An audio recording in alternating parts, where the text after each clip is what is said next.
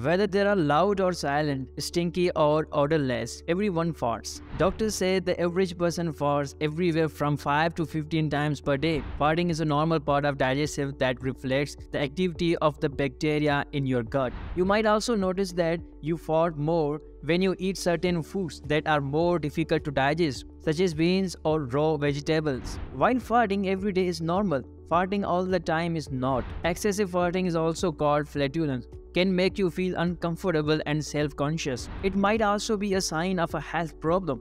You have excessive flatulence if you fart more than 20 times per day. In most cases, excessive farting can be controlled with changes to your diet and lifestyle, but in some cases, it's necessary to seek out medical attention.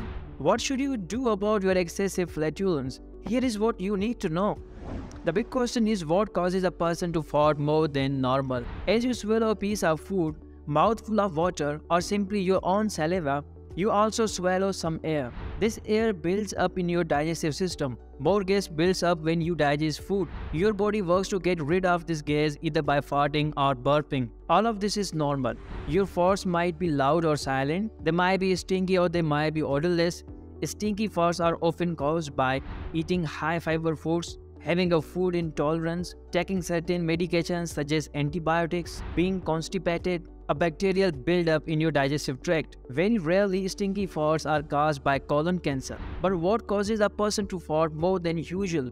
Some common causes include Number 1. Hard to digest foods. Some foods are more difficult for your body to digest than others. These foods often contain high amounts of fiber or certain kinds of sugars that are hard for the body to process.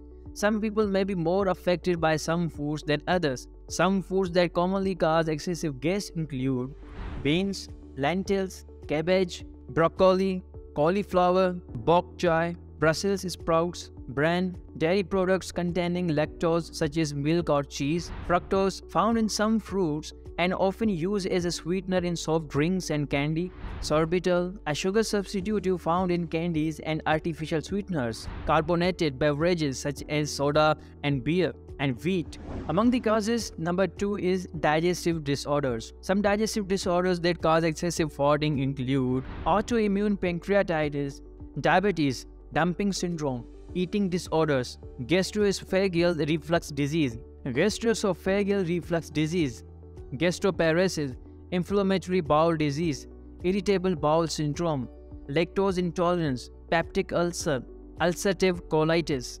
These digestive disorders interfere with normal digestion, placing stress on your digestive system and often result in excessive farting.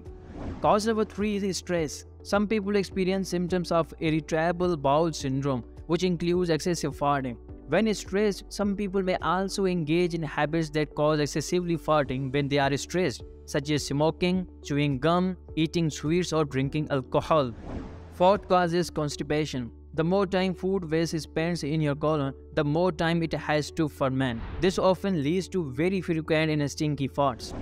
Number 5. Changes in the amount or type of bacteria in your digestive tract. Antibiotics or consuming food tainted with bacteria can wreak havoc on your digestive tract, causing excessive farting.